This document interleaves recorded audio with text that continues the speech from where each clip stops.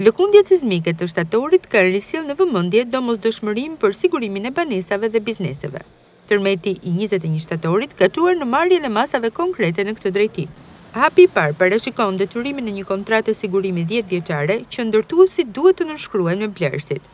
Në këtë kontratë sigurimi, ndërtuesit duhet të marrin përsipër mbulimin e dëmeve që rrjedhin për shkak të terrenit, defekteve në ndërtim apo që paraqesin rreziqe të tjera serioze.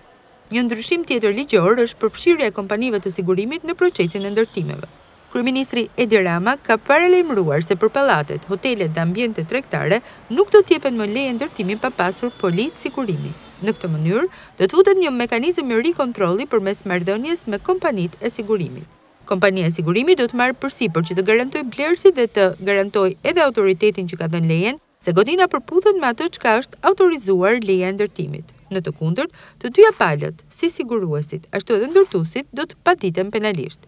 Ndërtuesit në qytetin bregdetar janë shprehur se ky vendim i qeverisë për sigurimin e çdo objekti për dhjetë vite do të ndikojë në rritjen e çmimit të apartamenteve, duke paralajmëruar se do të ankimohet pasi nuk vlerësohet i drejtë prej tyre.